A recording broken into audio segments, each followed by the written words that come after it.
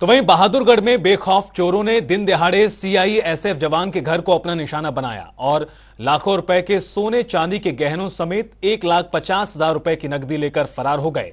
वारदात के समय परिवार घर से बाहर गया हुआ था। हालाँकि घर के पास में लगे सीसीटीवी कैमरे में पूरी घटना कैद हो चुकी है और घटना की सूचना मिलते ही मौके पर पहुँची पुलिस ने भी मामला दर्ज करते हुए जाँच पड़ताल शुरू कर दी है। हम एक बजे घर से निकले थे, लड़की का बुखार हो रहा था स्कूल में, गए वहाँ से इसको लेके आए जी दवाई दवा के, और वहाँ से वापिस आए। तो जी घर में हमारा गेट का जो ताला था, वो खुला हुआ था। कमरे की लाइट जल रही थी। वो हम मार्केट गए थे दवाई दवाने वो बांझी को।